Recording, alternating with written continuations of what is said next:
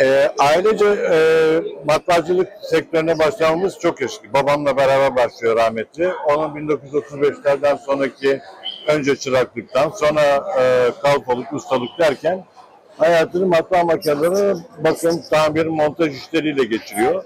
Sonra 1953'te e, kendi matbaasını kuruyor.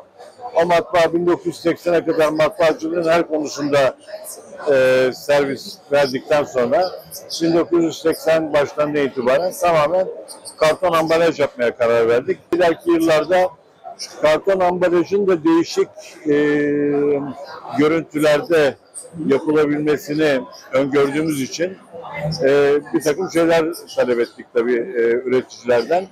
Onlardan e, doğru yanıt alamayınca bu sefer e, zaten tecrübeli olan babamızdan dedik ki acaba şöyle makine yapar mısın bize diye. O da e, seve seve yaparım dedi.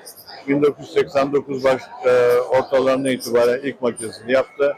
90, 91, 92'de 3 tane makinemiz olmuştu. Türkiye'deki bir yandan rakiplerimiz olan dostlarımız e, bu makineyi niye bize vermiyorsun dediler. Olur muydu olmaz mıydı hiç düşünmedik dedik. Fakat sonuçta baktık olabiliyor. E, tamam yapalım dedik. Sonra siparişler almaya başladık. Önce Türkiye için üretmeye başladık. Ondan sonra 95'te e, Amerikalı bir firma geldi satıcı. Ya ben bundan Amerika'da satmak isterim dedi.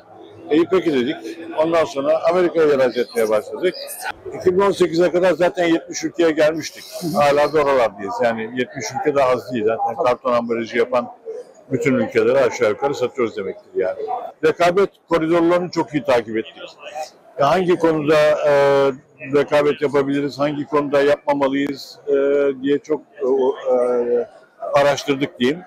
Bunun içerisinde şunu gördük. Standart makinelerin dışında müşterilerin canları istedikleri gibi özgürce karton ambalaj dizaynı yapıp o dizaynı da karton ambalaj e, makinesinde e, üretilebilir hale getirmelerini sağladık. Yani siz dedik istediğiniz gibi dizaynınızı yapın, biz onu üretecek makineyi size yaparız. Bu çok büyük bir yenilikti. Dünya çapında çok büyük sükse yaptı ve çok büyük projelerde imza attık bu konuda. Bir de servisimizi çok iyi tuttuk. Yani dünyanın her tarafına çok kısa sürede e, satış sonrası servisi verdik. Bu da çok büyük sükse yaptı. König Bauer 1814'lerden başlayan bir şirket. König ve Bauer soyadlarındaki iki genç tarafından kurulmuş. Bir de talep gelince biz bu işte beraberlik kurabiliriz diye düşündük. Hala parçalarını biz üretiyoruz. Hala argesini biz yapıyoruz. Ondan sonra König Bauer tarafından gelen piyasayı takip ettikten sonraki talepler neyse onları geliştiriyoruz. Onların bugüne kadarki teknolojik birikimlerinden yardım alıyoruz. O da çok önemli tabii.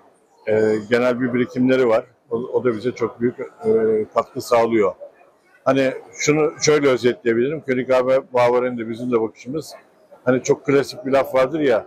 Son teknolojiyi takip ediyoruz. Biz son te- teknolojiyi takip etmiyoruz. Son olabileceğin ötesinde teknolojiyi kendimiz yaratıyoruz.